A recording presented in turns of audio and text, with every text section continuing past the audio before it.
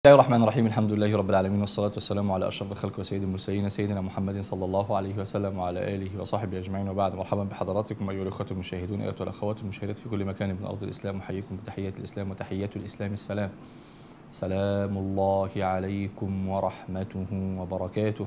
وحلقة جديدة من حلقات برنامجكم لتسكنوا إليها على شاشتكم شاشة قناة الرحمة. أهلا بكم. الحلقة الرابعة والتسعون.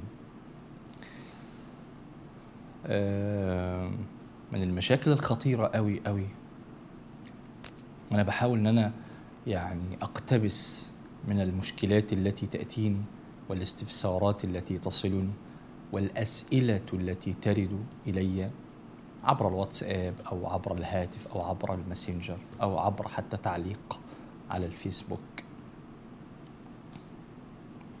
أو مشكلة بحضرها. من المشكلات الخطيرة قوي مشكلة آه، الولد ال- الزوج حيران ما بين أمه وزوجته. يقدم أمه أم يقدم زوجته؟ دي مشكلة عويصة. هي مشكلة يعني لو بقت موجودة تؤرق الحياة وممكن يصل الأمر إلى إن الولد يطلق مراته علشان يرضى أمه أو يقول لك يا عم شيل ده من ده يرتاح ده عن ده خلاص إذا كان ده هيريح أمي خلاص وأقعد لا جواز ولا غيره.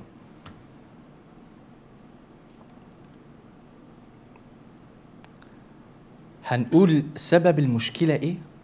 يعني سبب المشكلات اللي بتحصل ما بين الأم وما بين مرات ابنها إيه؟ وهنقول للولد برضه لازم نديله علاج.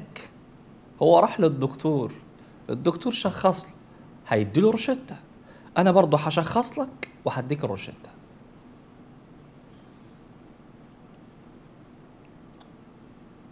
بس هي مشكلة. نتفق أو نختلف هي مشكلة مشكلة كبيرة. إنه أنا في خلاف ما بين دايما في خلاف ما بين أمي وما بين زوجتي. أعمل إيه؟ أقدم زوجتي أم أقدم أمي؟ يا جماعة حد يقول لي حد يدلني حد يبصرني حد يرشدني. أنا محتار. أجي على أمي ما ينفعش. أجي على زوجتي ما ينفعش. هناك أزواج يأتون على أمهاتهم وعلى أم أمهاتهم كمان. خلي بالك أنا قاصد إن أنا أقول أم أمهاتهم يعني يجي عليها بالقوي ويجي عليها قوي ويظلمها يظلم أمه. ممكن يزعق لها ممكن يشتمها ممكن آه، يرفع صوته عليها ممكن آه، ما يرضيهاش ممكن ممكن. عشان إيه؟ عشان مراته. أصل الواد بتاع مراته أصل الواد أصلا مش بيحب امه أو العكس لا يصح. إنك أنت مع أمك ضد زوجتك برضه مش صح. وليس من تصرف النبلاء ولا الأزواج العقلاء. إنك تبقى مع مامتك وتسلم ودانك لمامتك ضد زوجتك. لا ابدا. ابدا. ابدا. أوعى تعمل كده. أوعى تركز وتبقى في صف أمك ضد زوجتك. أنت مطالب ببر أبوك وأمك؟ آه.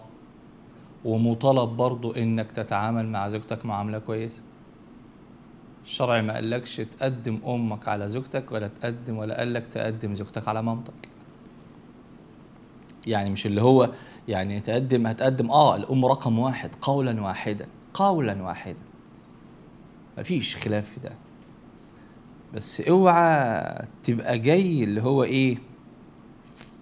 طبعا حذاء الأم فوق العين والرأس حذاء الأب فوق العين والرأس مكانة الأم والأب فوق العين والرأس. عشان بس محدش يفهم اللي هو إيه؟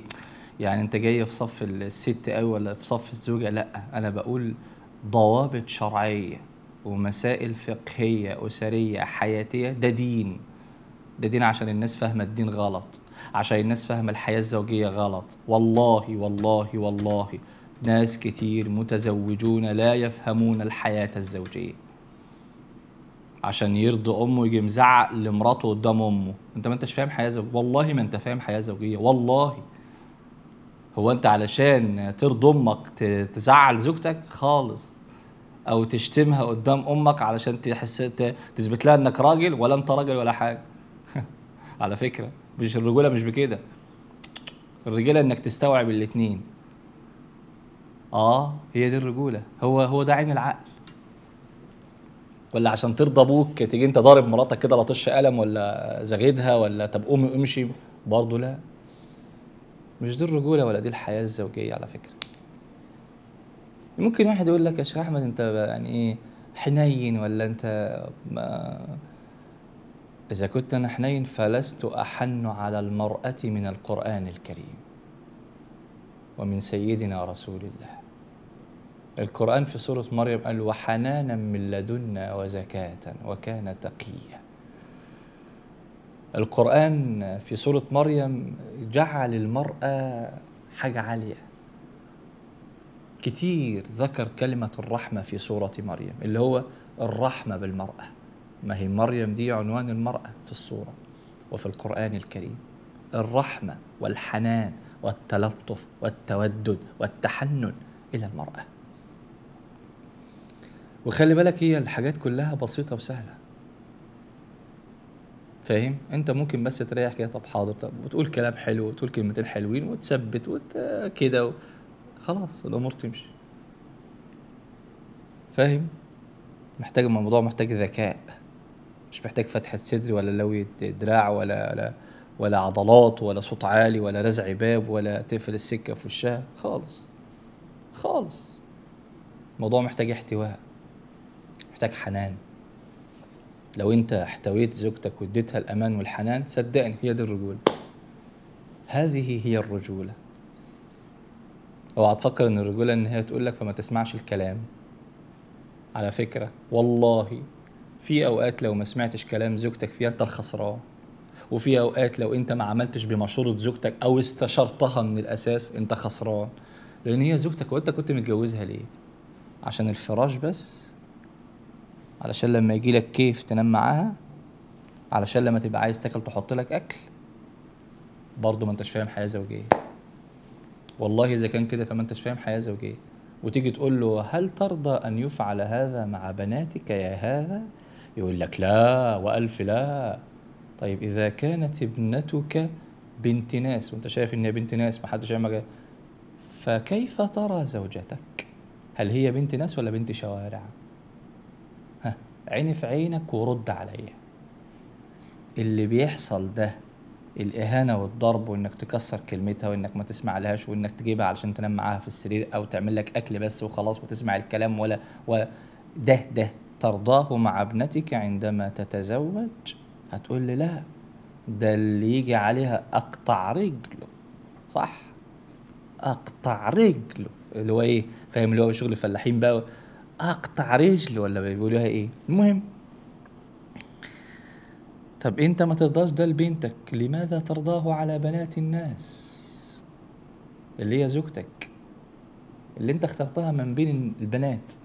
ورحت حطيت إيدك في إيد أبوها و... وخلاص وتزوجنا.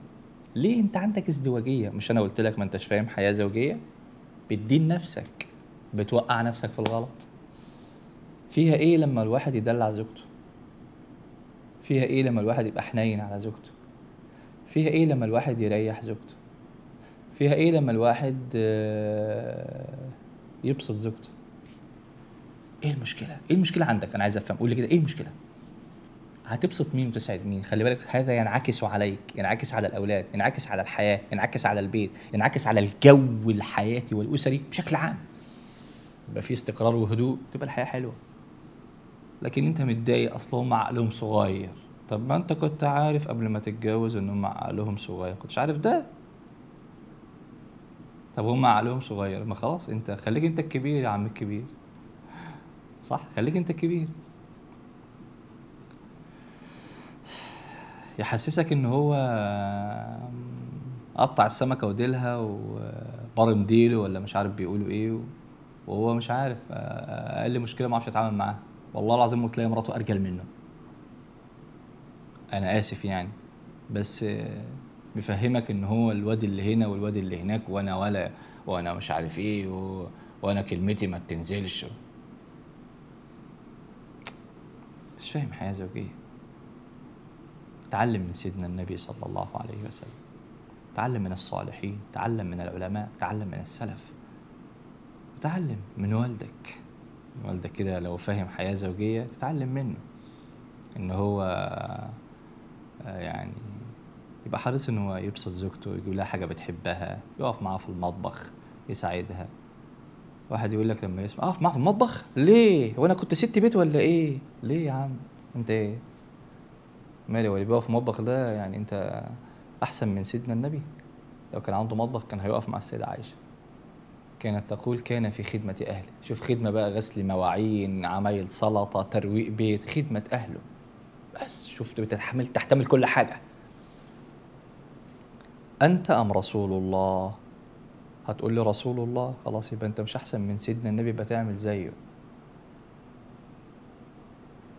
هكذا كان رسول الله. ومش بقول لك اللي هو يعني لأ بص أوقات كتير الناس بتفهم كلامي غلط. أنت تجتهد إنك تبقى كويس مع زوجتك. ممكن آه ما يبقاش طول الخط أنت كده ممكن ضغطة شغل ممكن ما أنتش رايق ممكن مش عارف جاي متأخر ممكن ممكن. على الرغم إنه ده ما يأثرش لو أنت مضغوط أو مش عارف متضايق ملوش علاقة برضه بالحياة الزوجية خلي بالك. انت دخلت بيتك إيه علاقة زوجتك بضغطة الشغل آه هتقدر بس انت ما تدخلش بقى إيه تديها الوش ومحدش يكلمني واتعصب هي ذنبها إيه؟ وما ذنبها وذنب الأولاد. يا راجل. بالاخر تخش كده تفصل كده تقول لك كلمة حلوة تستقبلك كده. والأمور تعدي. لكن برضو عشان مش فاهمين حياة زوجية الأزواج بيخلطوا الأمور. يقول لك إذا كان عاجبها. عاجبها إيه يا عم؟ هو إحنا كنا بنلعب وفي الآخر أنت بتذل في اللعب. دي حياة ده ميثاق غليظ.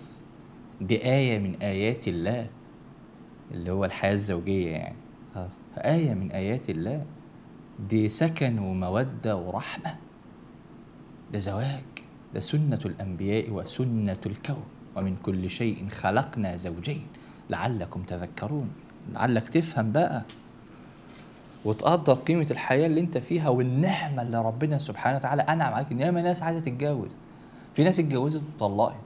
في ناس مش مستقرة. انت متجوز. حافظ على بيتك وحافظ على حياتك وحافظ على زوجتك وحافظ على عيالك. وحس بالنعمة تعالوا لموضوع الأم والزوجة. ما تجيش معمق ضد زوجتك وتظلمها. وتبقى معمق على طول الخط طالما ام عايزة كده أنا معاها ومراتي تخبط دماغها في الحيط الشرع ما قالش كده.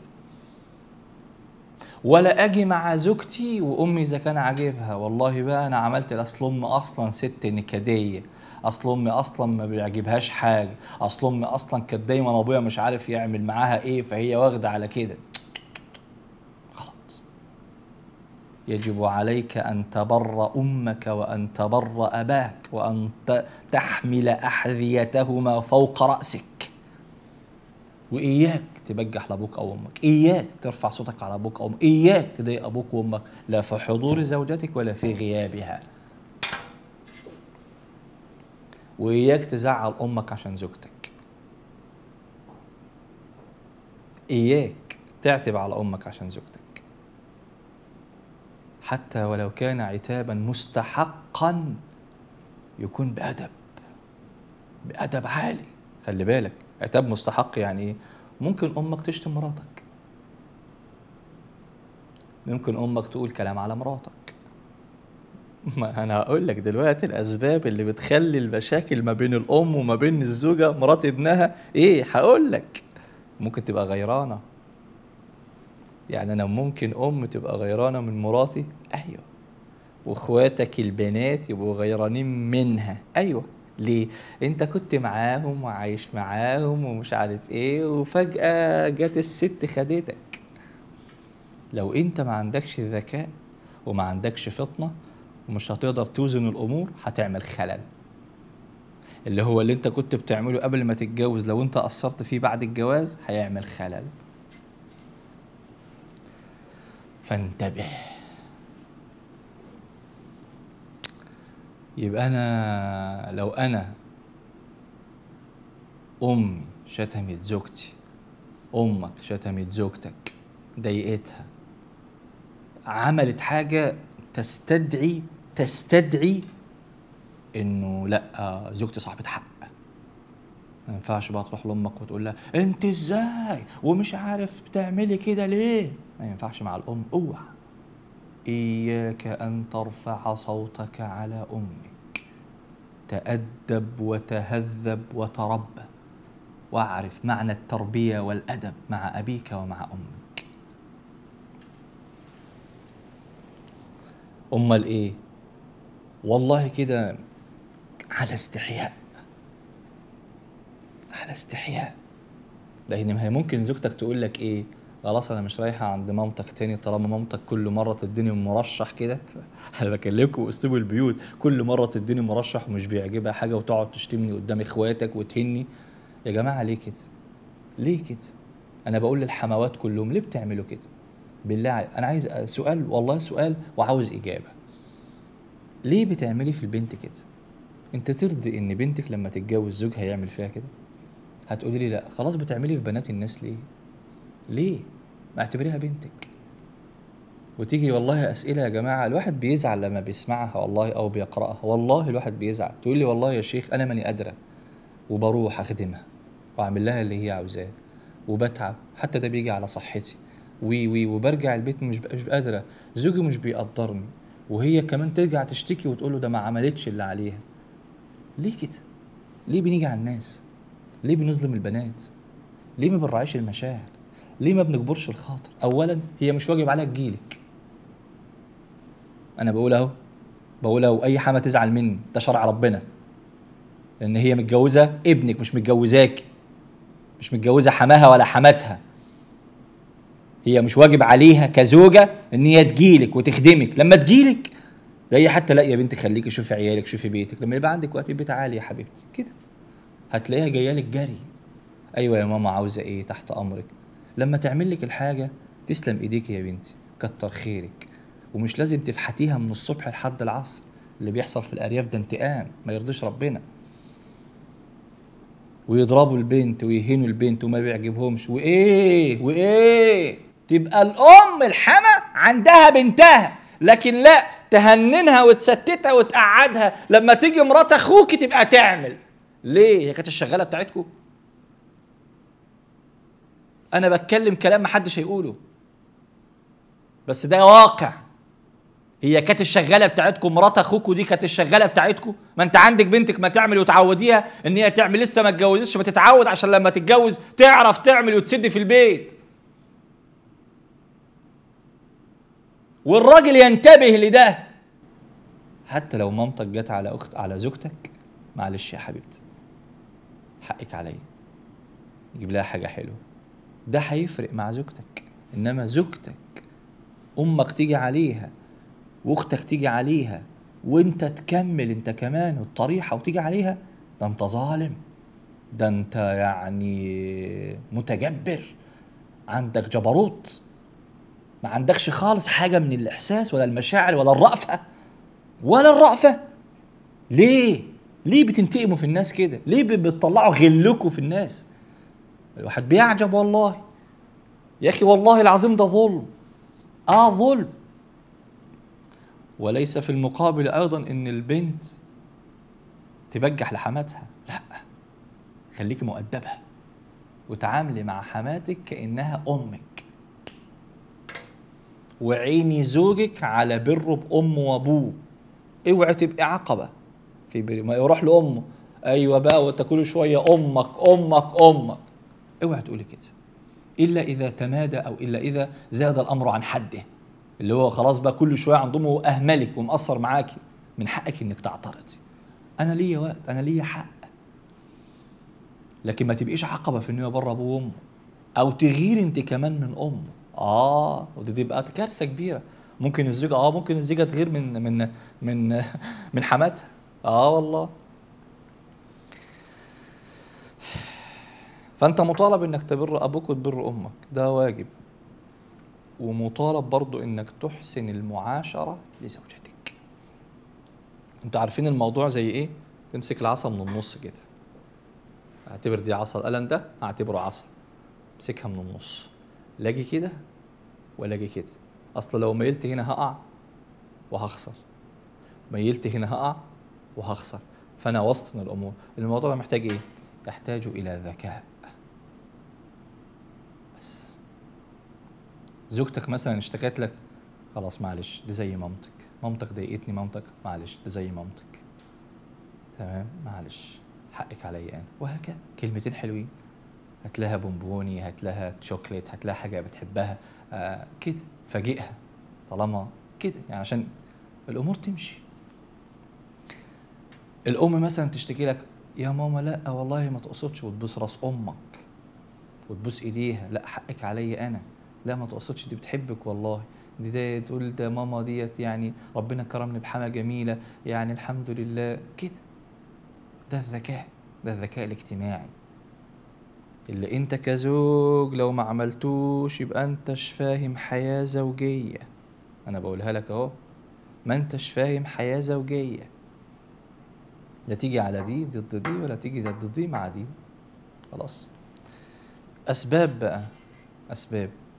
المشاكل ما بين ال- ال- ال- الزوجة وحماتها أو ما بين الأم ومرات ابنها. أول حاجة آه، ممكن تحصل مشكلة إن الولد بتاع امه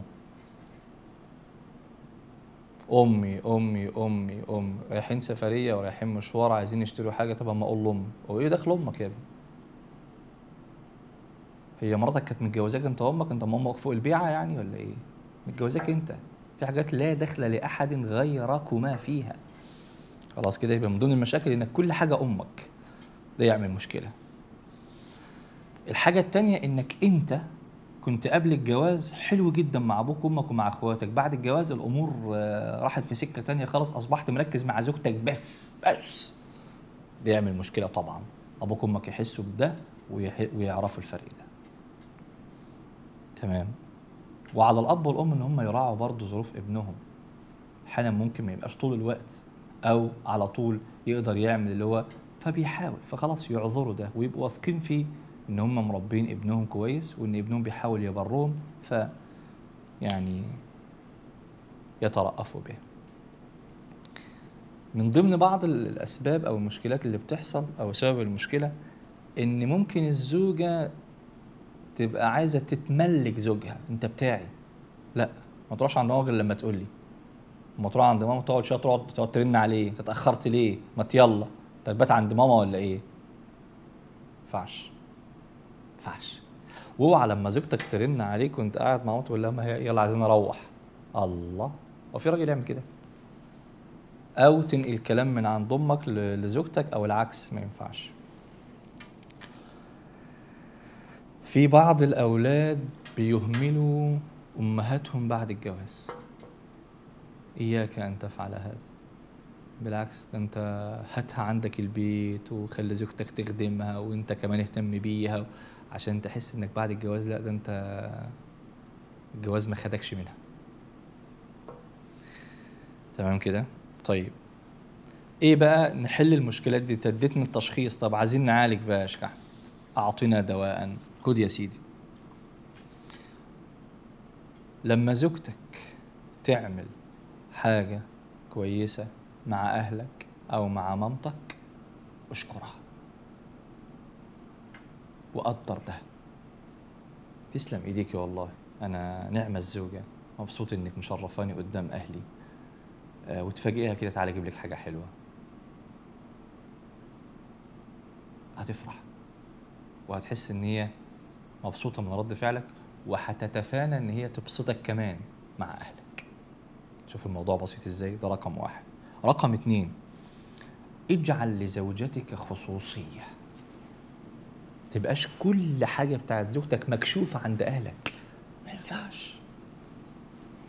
حياة اسمها حياة زوجية. يعني أنتوا الاثنين إيه دخل أهلك بقى في كل حاجة انت؟ أصل هي قالت لي اصل هي عملت. ما بتعرفش تعمل أكل. أصل مش عارف إيه مش بيعجبها إيه. ما ينفعش. في خلي في خصوصية ما بينك وما بين زوجتك. أظهر اهتمامك بأبيك وبأمك بعد الزواج. لهم حتى وأنا لما اتجوزت أنا مفيش حاجة شغلتني عنكم. أنا معاكم. آه، إياك أن تعاتب أمك أمام زوجتك. وإياك أن تهين زوجتك أمام أمك. عشان بقى إيه ممكن إيه مامتك ما من الناس اللي هي عارف بقى اللي هو لأ أنا مش حي مش حي مش هيهديني جوه غير لما تبستفها قدامي. فيجي يبستفها. لا ما اسمعش كلام أمك في ده خالص. أمك غلط. أخلاق مش حلوة. فما تعتبش على أمك قدام زوجتك. وإحنا قلنا لو ما تعتبش عليها أصلا إلا إذا كان العتاب مستحق ولو عتاب مستحق تعتب على استحياء. استحياء قوي. اللي هو طريقة أنت بتتحسس فيها عشان تراعي مشاعر أمك. اللي هو بس أنت بتديها الارم كده بتلفت نظرها إنه أنت يعني آه، حاجة كده ضايقت. مثلا تكون شتمتها تكون قالت عليها كلام تكون يعني اللي هو حاجة تستدعي. فاهم معايا؟ وما تهينش زوجتك قدام أهلك ولا قدام مامتك. آه، الحاجة اللي بعد كده ما ما ما تظهرش يعني حبك لزوجتك قوي قوي يعني قدام مامتك هتغير منك. هتغير؟ إلا إذا كانت زوجة راسية كده قصدي أم راسية وعاقلة آه والمفروض إن هو ياخد باله منها ويهتم بيها وده حقه ودي زوجته. ما هو معايا كده وأكتر من كده. حلو. مش مشكلة. بس تراعي برضو تحسس. جيش تقول لأمك ده مش عارف مراتي بتعمل مش عارف إيه كده اللي هو هي ما بتعرفش تعمله يعني؟ أو بتاع زوجتك بتاع يعني أنت ما أنت كنت كنت فين قبل الجواز وأنا اللي كنت بأكلك وبشربك وبعمل لك وكان أكلي بيعجبك دلوقتي أكل زوجتك هو اللي أحسن من أكلي؟ فبلاش راعي راعي إنك ما تشكرش في حاجة بتعملها زوجتك قدام إيه؟ قدام مامتك. ولو هتعمل وأنت يا ماما أنت ما شاء الله عليكي حاجات ما حدش بيعرف يعملها غيرك كده اعمل توازن بالذكاء.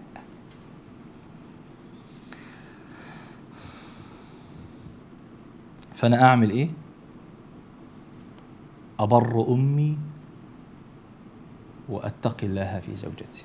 لا آتي على طرف مقابل الطرف الايه الآخر إنما يعني الأولويات والذكاء في آه، التعامل. فلكل منهما آه، حق ومكان. الأم لها البر والزوجة لها المعاشرة بالمعروف. اشوفكم على خير